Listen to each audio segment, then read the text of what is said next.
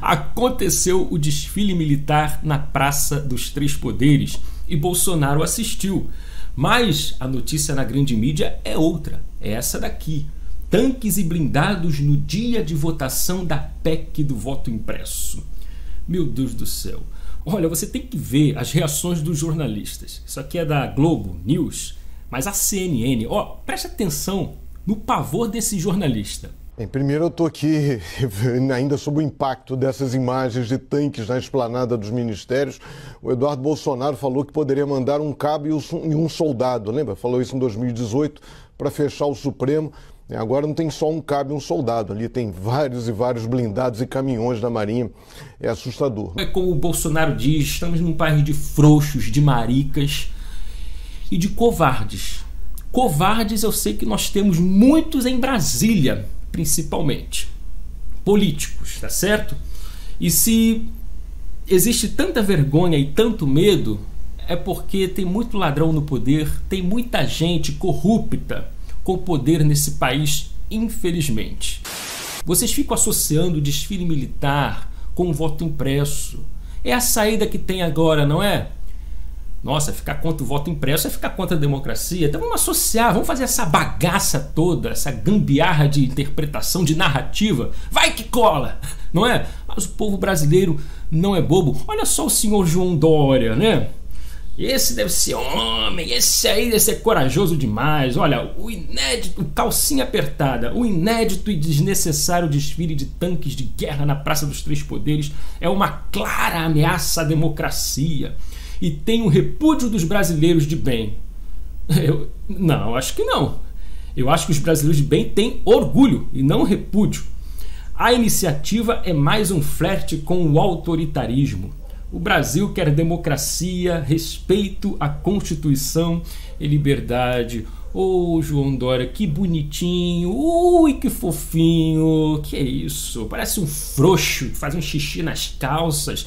Onde já se viu desfile militar uma ameaça à democracia. Que isso? Vocês deveriam ter vergonha de falar isso. Ainda mais vindo de quem fechou São Paulo e meteu o pé quem criou toque de recolher, quem pegou trabalhador na praça, na rua, e, sabe?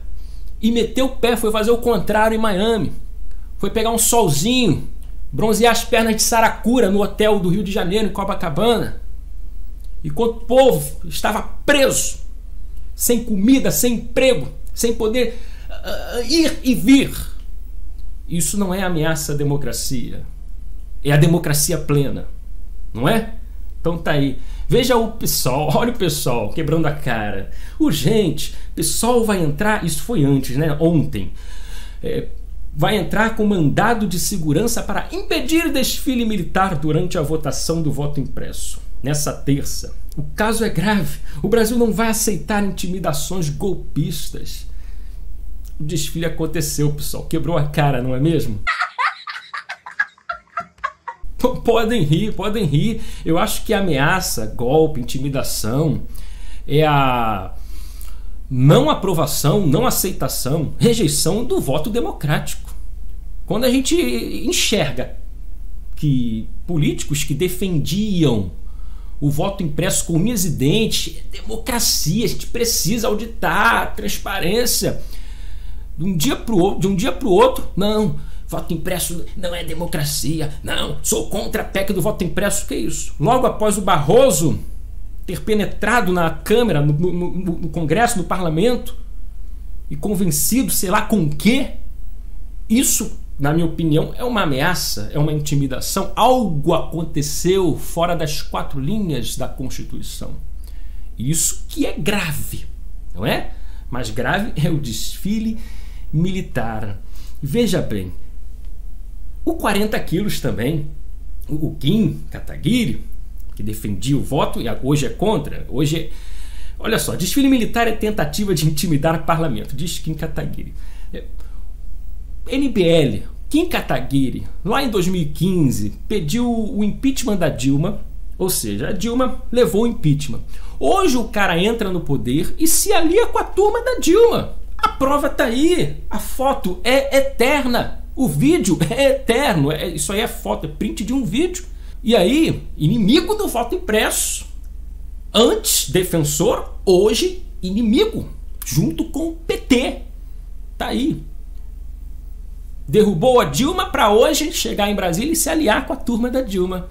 Que bonito, né, Kim Kataguiri? Esse aqui é um outro tiririca da vida. Olha só, estava assistindo um vídeo aqui do Kim Kataguiri. Ele prometeu que quando chegasse em Brasília, ele quer chegar em Brasília para acabar de uma vez por todas com essa coisa de interferência do poder judiciário nos outros poderes. Não, porque o STF está invadindo muito, está legislando, está impedindo o governo executar ou mandando o governo executar o que o STF deseja. Quando eu chegar lá, isso vai acabar. Aí por que eu comparo com o Tiririca? Porque o Tiririca, lá em 2010, ele prometeu um negócio. Olha, sou candidato, uma coisa eu prometo. Pior que tá, não fica. Pior que tá, não fica. O cara chegou lá, foi eleito e ficou pior. Veio a, a, bomba, a explosão de corrupção na Petrobras. Você sabe o que aconteceu. E, e aí, o Kim Kataguiri chegou lá, eleito. Ele que prometeu menos interferência do STF. O STF agora está explodindo de interferência, né? É, todo dia está interferindo, a coisa piorou.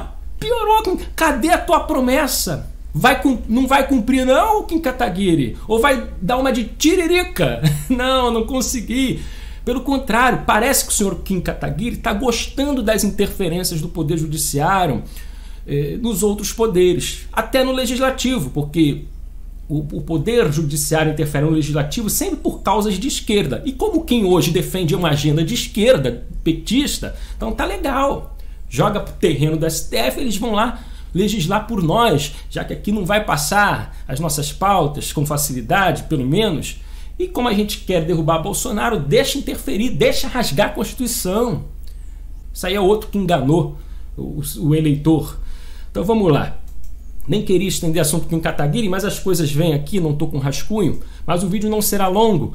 Inclusive, quero encerrar aqui com essa postagem do Bolsonaro. Quero explicar para você por que se deu esse desfile militar, a questão lá de Goiás, é, a demonstração operativa de Formosa. Preste atenção no comunicado, no convite do presidente Jair Bolsonaro. Para quem acha aí que é uma ameaça, ó, no dia do voto impresso, da votação. Vamos lá. Senhor presidente do STF, Câmara Federal, Senado, TCU, TSE, STJ, TST, deputados, senadores. Como ocorre desde 1988, a nossa Marinha realiza exercícios em Formosa, Goiás. Como a tropa vem do Rio, Brasília é passagem obrigatória. Muito me honraria sua presença amanhã na presidência, 8 e meia onde receberei os cumprimentos da força e lhes desejarei boa sorte na missão. Presidente Jair Bolsonaro, chefe supremo das Forças Armadas. E ele sempre jogando na linha, nas quatro linhas da Constituição, né? Olha só, é, é assim. É. Quem não está gostando, que mude a Constituição, mas eles estão preferindo até rasgar, não é mesmo? Brasília é passagem. Então Bolsonaro aproveitando a ocasião, né, fez questão daquele desfile lá. E, e, se eu não me engano, só o presidente do TST que compareceu ao desfile. Eu estava lendo as notícias aqui antes de gravar. Não fiquei sabendo da presença dos outros é, presidentes de judiciário, não, tá certo? Porque tem vergonha das Forças Armadas, se recusaram ou estão nesse jogo. Não, é, é, o desfile é, pra, é uma ameaça à democracia. Que isso? É o voto impresso, é uma intimidação. Isso é narrativa descarada de vocês, da oposição. Não é? Se recusaram a assistir o desfile das Forças Armadas, ou seja, intitulando de ameaça à democracia. Quem é que socorre o país em tempos de guerra, de desgraça, de invasão? As Forças Armadas. É a nossa mão amiga. E vocês estão com medo, com vergonha, ofendendo Eu quero dar aqui os parabéns ao presidente Bolsonaro, parabéns aos militares, às Forças Armadas e a todo o povo brasileiro de bem que tem orgulho das Forças Armadas. E meu repúdio, sim, àqueles que têm medo ou vergonha das Forças Armadas. Meu repúdio. É isso aí, minha gente. Vamos ficando por aqui. Deixa o like, comenta, compartilha o vídeo. Isso ajuda muito o nosso canal. Quem quiser colaborar com o nosso trabalho, temos aí o Pix disponível a chave é o e-mail brunojonsen.bol.com.br. Jonsen com dois S's. Pode doar um real, dois reais, claro, se você quiser ajudar, tiver condição, tá certo? Desde já, meu muito obrigado a todos que doaram nos últimos dias. Que Deus abençoe a todos. Forte abraço. Meu nome é Bruno Jonsen, comunismo aqui não. Vamos nessa!